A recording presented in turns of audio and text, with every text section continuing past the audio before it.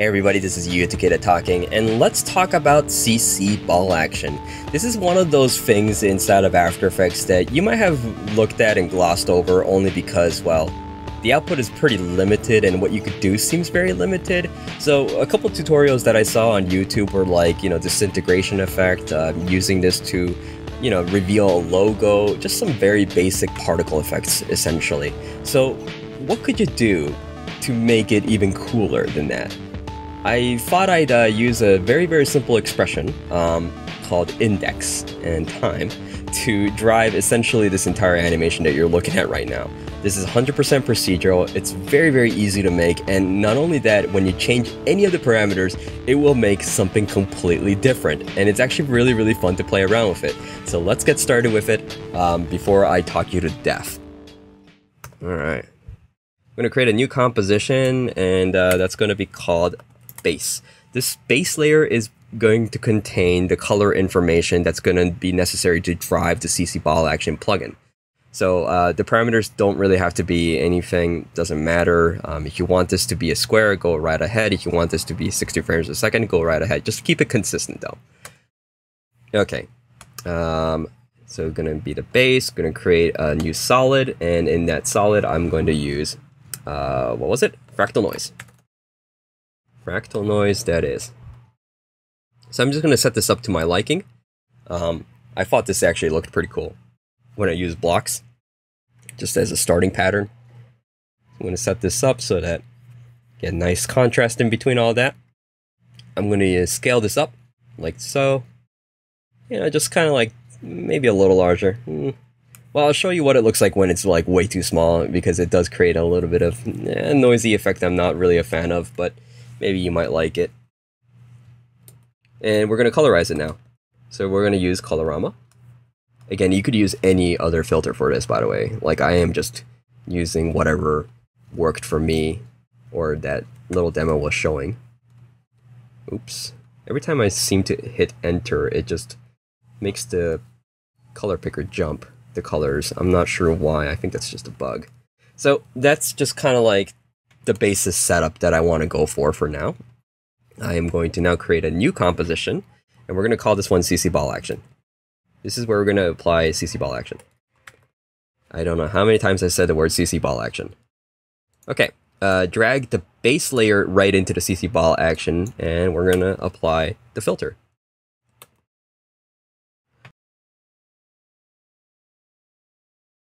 Alright, just a quick rundown of what exactly CC ball action does. Uh, scatter scatters the stuff around, just like so. You got lots of little balls here. Um, you can see a rotation uh, that just rotates the, the plane. Uh, twist will twist the thing, so if you combine the two, now you get this really cool spiral effect. Not particularly useful for every reason. Uh, grid spacing will space the uh, balls around ball size will change each individual size of the balls. And instability state, this doesn't do anything on its own, but when you have scatter enabled and if you use this, this will animate the scatter. Okay, so we're not going to be using the scatter, we're not going to be using the instability state, we're also not going to have like a huge giant grid spacing, and uh, I'm just going to set it up so that it's easy to see. Alright, good enough, good enough. Okay, so the two parameters that we're going to be um, animating is the rotation and twist angle. These two, um, I'm going to apply a very, very basic expression on them. So here is that. I'm going to, first of all, press Alt or Option on their Mac and uh, bring out the uh, expression window. And I'm going to input time multiplied by 10, just for the start. So when you do that, now it starts rotating it uh, based on this expression here. And uh, I want to change this to uh, XY, XYZ axes. And another thing that I want to change is the twist property here. This is going to really be really cool. So um, red, green, blue, brightness. These are these three are going to uh, directly use the whatever color is in this uh, pre-comp to drive essentially the look of it. So now, notice how that just really does did something cool. Now it's like a bunch of LED LED panels just floating in space now. So that's what a, the effect was essentially. Very very simple. Okay, so we're gonna go a little more here. Um, I guess I'll explain the first of all the concept behind it. So basically, um, once you have this kind of setup going, right? So that's fine. So what you need to now understand is that we're going to be duplicating this composition multiple times. Uh, and what After Effects does, now if I do this right now, it's not going to do anything only because there's no way After Effects is offsetting any of these. So I want this to offset in order to create that trail effect that you saw earlier. Um, and for After Effects, every single layer has a number. So if you if you see base here, it's not just base. There's actually a, number attached to it. So from you know one, two, three, four, five, six, seven, all the way up to ten here. So we're going to call that number using what's called index. So if I were to do, I'm going to put these in parentheses first of all, and I'm going to add index. Yeah, just do times 10 or something like that for now. That's 19. All right. And then if I were to now duplicate, Command D on the Mac, you can see how that immediately created something really cool. Okay, uh, take note that right now it's kind of messy. Um, there's so many layers of stuff going on. And uh, if you recall, my original one didn't look like this at all. So I'll show you how exactly to get rid of some of the particles because we actually need to hide some of them. Um, so my version was a lot more sparse, I feel. So what you need to do is simply just apply a couple black areas like this. So what that does is it just hides some of these areas, keeps a couple islands floating like that. And if we were to go back to our original composition, now that already looks a lot cooler.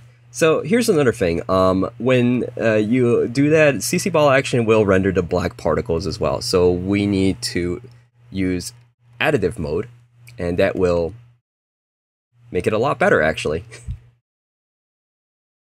Alright, so one more thing that we need to apply this parameter to. So just to kind of uh, delete all that, I want to apply it to the twist property here because I want this to animate as well.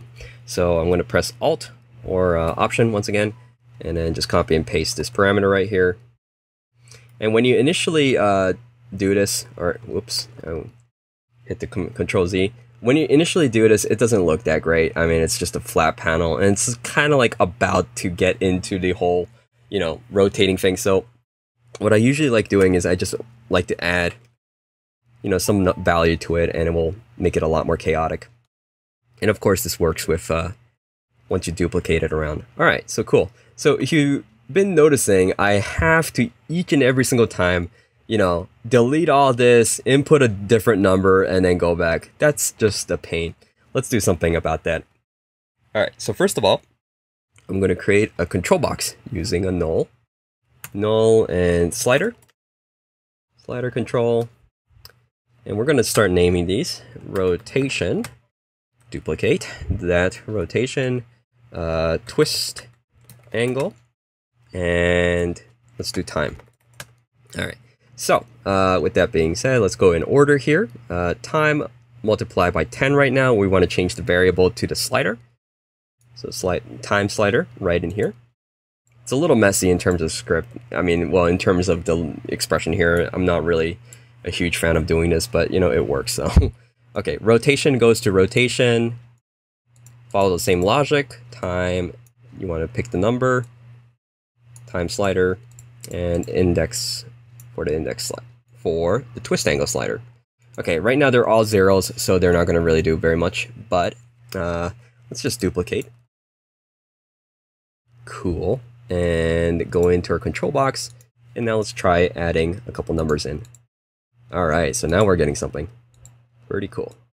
So if I were to now apply some time, let's try like a larger number here. Now they're all self-animating. They do all sorts of, you know, crazy moves pretty cool. It's kind of creating this line right now, so just uh, to fix that, all you need to do is make a new camera. You change the parameters around to your liking, rotate it, and boom, we got ourselves a different camera angle, and that line is pretty much gone. Okay, um, one last thing. Uh, if you noticed in my original, some of the particles were actually tapering. Um, this is actually very easy to achieve, once again, using the index. I'm going to delete all that, um, and I'm going to use the uh, ball size here. I'm going to press Alt Option ball size and uh, change that. So uh, let's put index uh, plus mm, two. I mean, you know, for every single new uh, layer that it creates, you'll it'll increase the size of the um, each of the balls to two. So now it will start tapering. Looks pretty good. Now note that when you increase the number of layers, it obviously will increase the number of render time. So you want to be careful, but this is actually pretty. Alright. So that's pretty much basically the effect of it. Now you could apply glows and anything else you want on top. Uh, this will really, really make it cool. So just check out how flexible this whole setup is. So not only is it 3D, if you change the base thing, um, let's say for example, let's just change the colors.